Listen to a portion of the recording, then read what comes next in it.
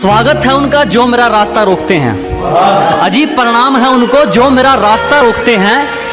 भी नहीं रुकता जब सो कुत्ते भोंकते हैं।